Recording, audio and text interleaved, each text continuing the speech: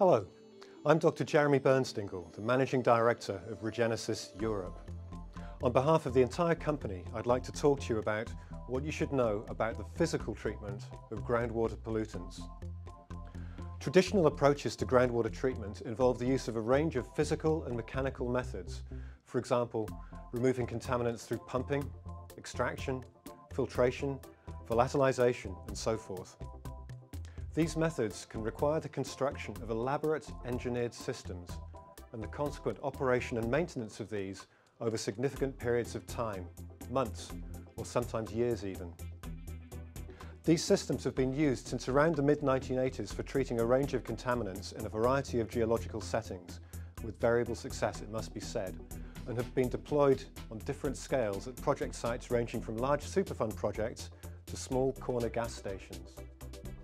A typical example of a pump and treat system would consist of abstraction or recovery wells from which the contaminated groundwater is pumped to the surface, then the contaminants removed from it by methods such as air stripping or activated carbon filtration. The key point to note in this is that the only contaminant mass that can be treated is that which is recovered by the well from mobile phases within the aquifer. In other words, contaminated vapours, free product or contaminated water. Unfortunately, most common contaminants that require treatment are only sparingly soluble and within the aquifer are for the most part sorbed onto the solid aquifer matrix or trapped as smear and perhaps pockets of slowly dissolving free product contamination. For this reason, the efficiency and contaminant removal rate of pump and treat systems tails off significantly once the initial recoverable free products and highly impacted water or vapours have been removed.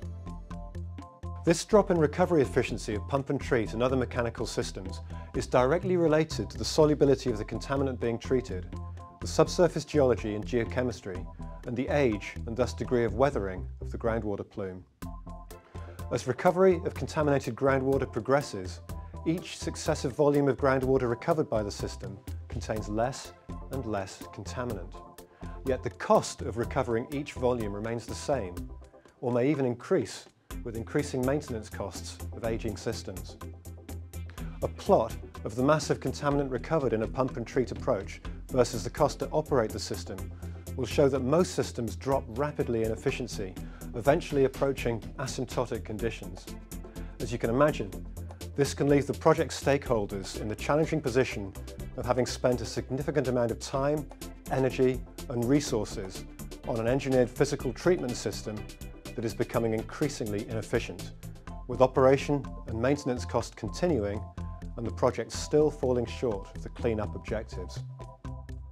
For this reason, innovative approaches to groundwater remediation have evolved that are able to avoid or address these challenges, and these can be used to take over from, or sometimes even enhance, a pump and treat system when its efficiency begins to fail.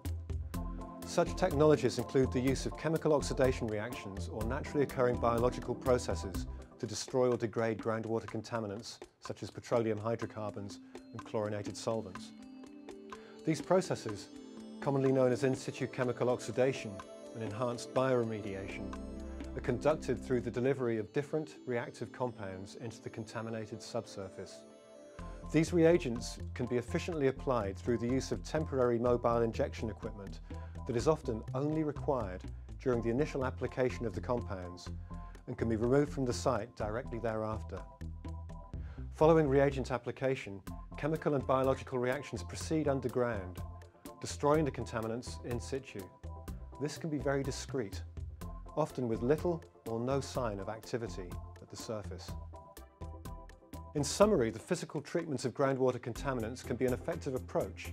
However, as the project proceeds, these highly engineered systems become increasingly costly and less efficient. Innovative or alternative technologies such as chemical oxidation or enhanced bioremediation can be used in place of or in addition to physical systems to clean up a site, resulting in more efficient and less costly remediation.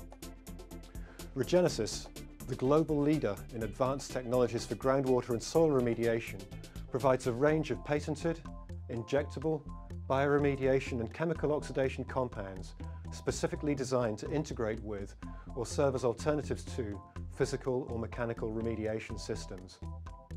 Regenesis maintains a highly qualified staff of scientists, engineers, geologists and chemists to support environmental professionals in selecting and applying appropriate technologies for effective site remediation.